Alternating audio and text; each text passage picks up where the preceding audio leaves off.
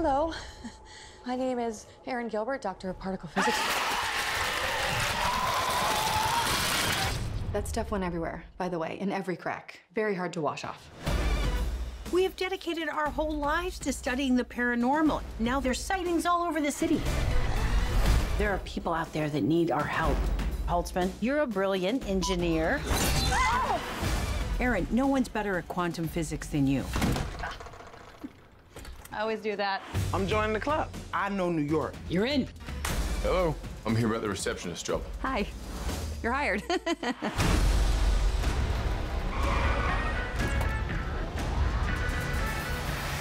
Let's go. Let's go. Oh, oh. did you want to? Sorry. I'll let you. I'll let Someone is creating a device that amplifies paranormal activity.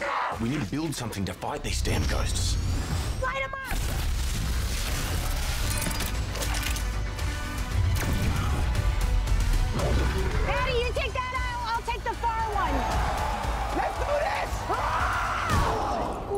Okay, I don't know if it was a race thing or a lady thing, but I'm mad as hell.